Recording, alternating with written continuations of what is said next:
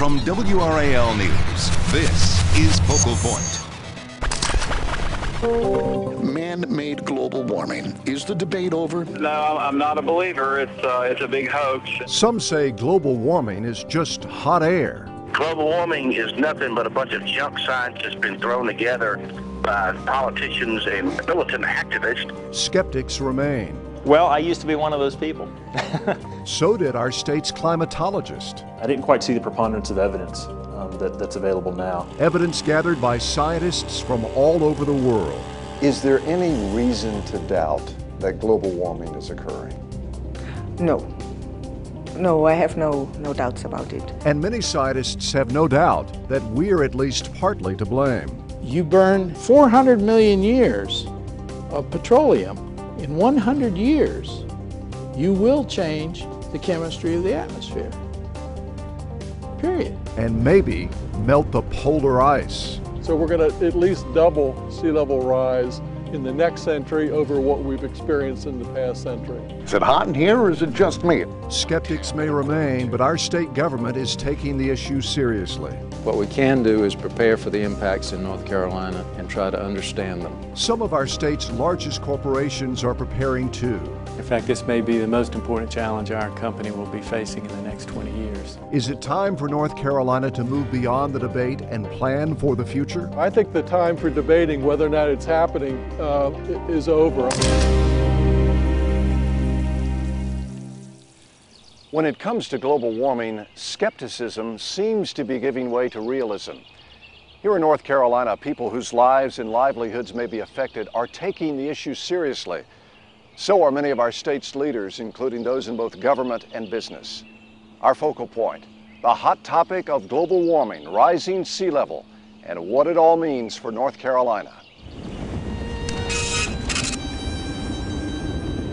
A Russian icebreaker plows through a sheet of Arctic ice. Climate scientists from around the world are on board. They all agree that climate change is happening. They have seen it in their years of research. Mike Dunn caught a glimpse of it too. He's an educator from the North Carolina Museum of Natural Sciences. Dunn was on board the ship documenting the scientists' work. To stand up there and look out over an endless horizon of sea ice and realize that perhaps what we humans are doing is changing that at an incredibly fast rate was very humbling. Scientists say the sea ice supports the Arctic ecosystem and helps regulate global climate. In summer, it's roughly the size of the United States. But these satellite images show how it has shrunk 25% since 1981 some climate models suggest that within 50 years, the summer sea ice will not exist. So something the size of the United States will not exist in the summer anymore. The National Climatic Data Center in Asheville houses the world's largest archive of climate data. More than a century of climate measurements are stored here. This is one of a series of about 114 stations that we're installing all around the, uh, the continental United States. NCDC scientists record the climate with ground monitors, radar, and satellite.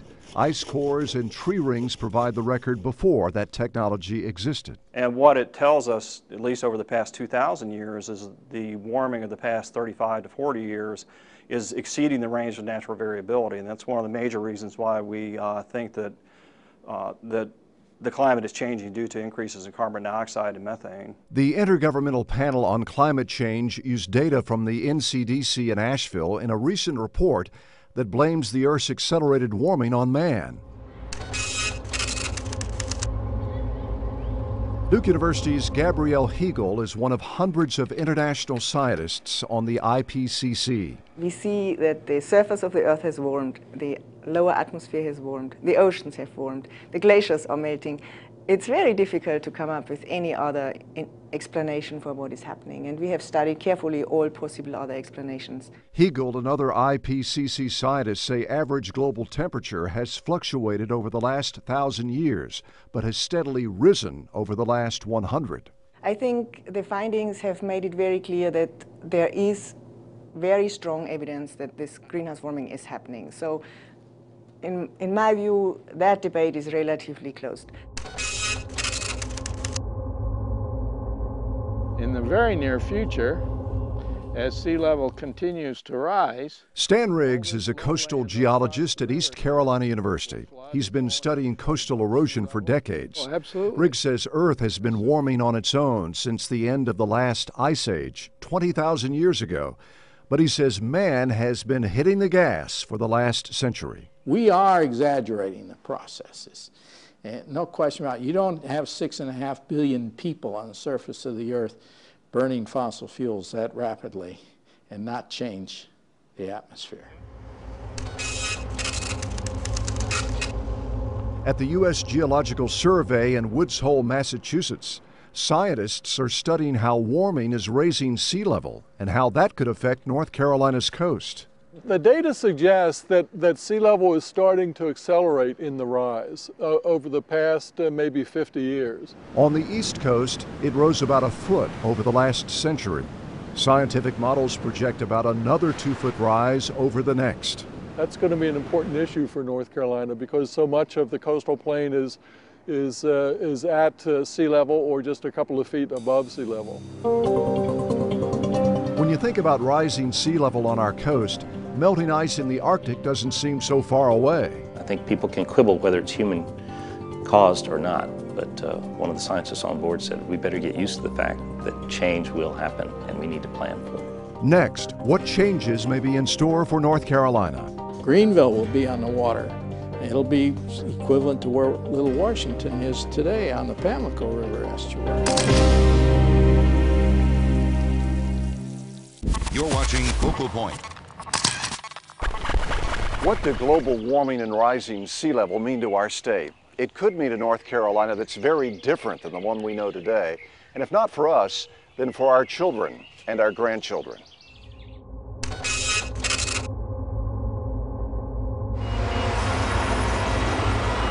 The people of Swan Quarter are building a dike nearly 10 miles around their community. I guess we're just getting prepared. Prepared for more salt water. Got that dirt underneath my fingernails and hate to get rid of it. It's Swan Quarter dirt. Guire Cahoon has farmed it most of his life. It seems like in the later years that I've been living here that the tide water has really uh, risen some and uh, the tide stays a little higher than it used to. Salt water on, on farmland uh, destroys the land. Cahoon says more salt water seems to come in with every storm. It was just like a giant wave coming in the street here, uh, rolling up the street. Hurricane Isabel was the worst. We really didn't realize that uh, storm surges could be as bad as they were until Isabel came, came in here. Scientists say global warming could fuel more storms like Isabel. And they say more storms and rising sea level could put major sections of the Outer Banks underwater within a few decades. Some portion of those Outer Banks are going to collapse. They're going to be gone. Inland coastal areas along sounds and rivers are vulnerable too. We have 4,000 miles of estuarine shoreline. It's all eroding, all of it. Some of it up to as much as 100 feet in a, in a single storm. Dozens of new waterfront communities are being built along the shoreline. We're going to get storm surges in there that are 10 foot, 15 foot storm surges up in those estuaries. And all of a sudden, you got all these people down there. It's wipeout. Farmland could be wiped out too as salt water migrates inland. All across our state, rising carbon dioxide levels and temperatures could change our agricultural landscape. Varieties of corn and wheat that grow well now here in central North Carolina may not do so in the future. So it's really going to disrupt agriculture, in my mind, in a, in a very, very significant way. An increase in carbon dioxide does boost the growth of some vegetable crops in greenhouses. But there's a limit to that. Once CO2 levels rise too much, then there's a negative impact on plant performance. Many scientists say that in 50 years, atmospheric carbon dioxide will be double what it was just prior to the start of the Industrial Revolution.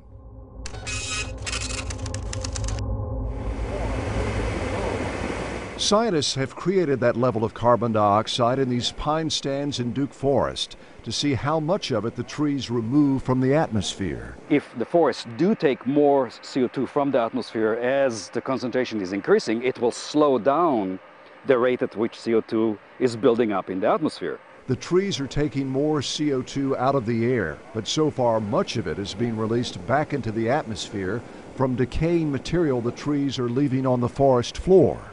If CO2 levels continue to rise at the rate that they're doing, uh, we are in for some very, very serious issues in regards to the biosphere. Pests and disease may thrive in an environment warmed by increased CO2.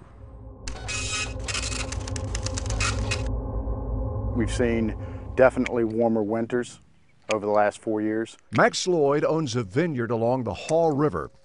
He depends on cold winters to protect French grapes from disease. One of the reasons we chose this site at above 700 feet of elevation was at the time we bought this farm, we thought that would protect us from Pierce's disease. The disease can wipe out his grapes. Lloyd says it didn't get cold enough last winter to kill the bacteria that spreads it. January and March were unusually warm. And the plants sort of lost their mind and they budded six to eight days, depending on the species, early. A late frost killed the new buds. This is a big deal, and these warm winters that are confusing the plants are going to be a big deal for, for the grape industry.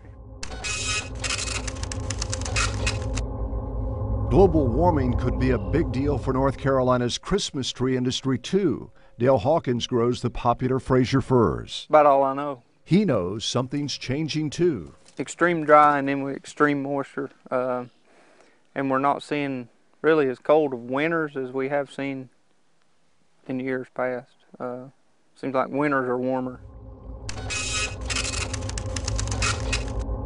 We run three aerial lifts and we have three uh, conveyor lifts. Chris Bates, general manager of the Cataloochee ski area in Maggie Valley, says he's also noticing changes. It does seem like it is getting warmer.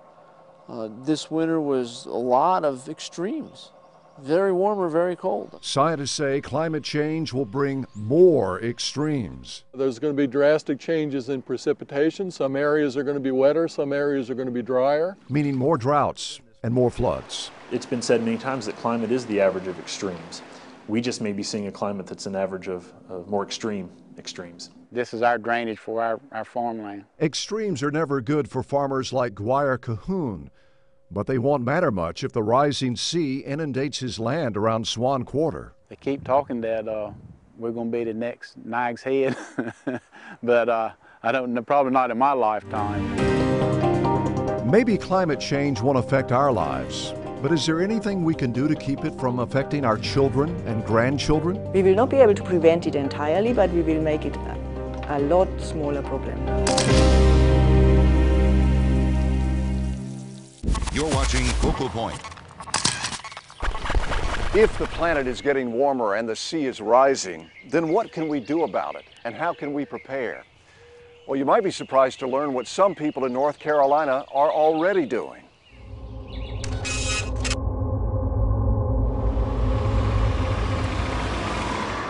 Bob and Linda Rodriguez's silver car and white house are both green. Their car is a hybrid, and their house is energy efficient. About 75 to 85 percent of the energy that we would normally use electricity-wise to heat, the sun's doing it for free. It's heating a water tank down below their house in a well-insulated crawl space. It doesn't get real hot, doesn't get real cold. Coming on up.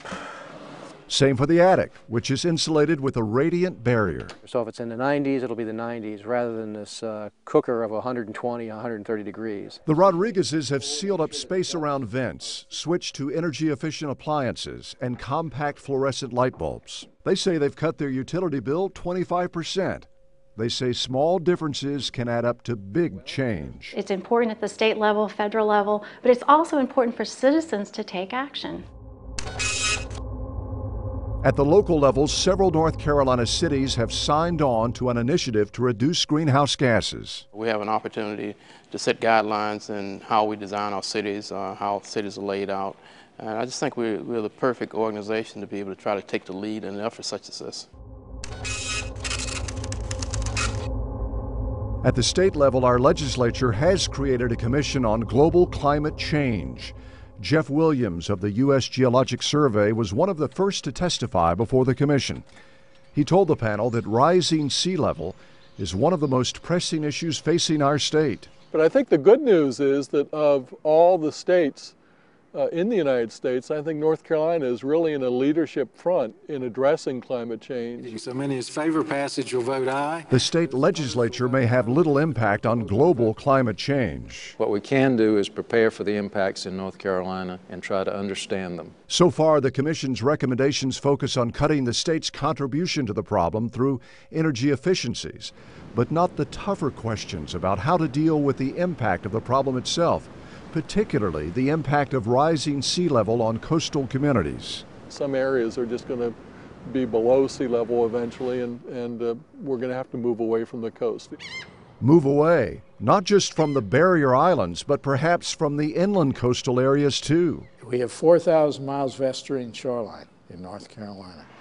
Are we going to dike all 4,000 miles? The challenge is how do we design a development so that we can handle the storm surge, so we can handle the shoreline erosion, so we can handle the migration of this system for 25, 50 years down the road.